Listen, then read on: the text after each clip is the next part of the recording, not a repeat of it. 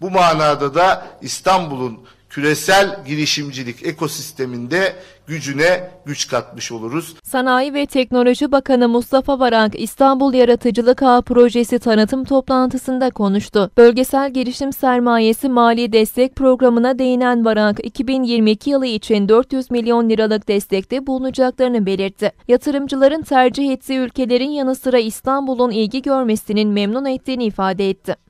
Bölgesel girişim sermayesi mali destek programına daha önce ilan ettiğimiz 250 milyon liranın üzerinde bir destek sağlamaya karar verdik.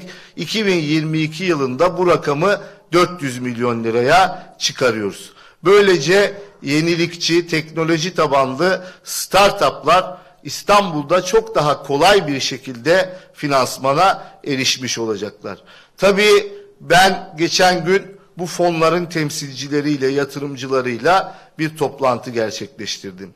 Ve sadece Türkiye'deki fonların değil, uluslararası yatırımcıların da İstanbul'a ilgi, olan ilgisi beni ziyadesiyle memnun etti. Bu manada fonların fonu şeklinde çalışan bu mali destek programımızı önümüzdeki dönemlerde daha da arttırabiliriz.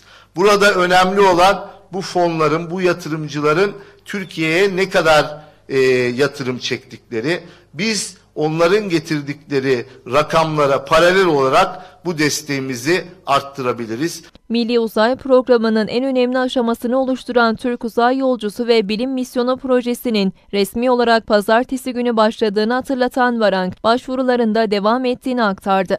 Böylece Türkiye uzaya vatandaşını gönderen sayılı ülkeler arasında yerini almış olacak. Gidecek vatandaşımızın seçimi için 23 Haziran 2022 saat 20.23'e kadar uzaya.gov.tr internet adresinden biz başvuruları kabul etmeye başladık. Cumhurbaşkanımız projeyi e, duyurduktan sonra oluşan heyecandan ve ilgiden ben ziyadesiyle memnunum. Şimdi son rakamlar geldi. Daha e, 48 saat bile olmadan yani iki günü bile tamamlamadan bu siteyi tam 4 milyon vatandaşımız ziyaret etmiş.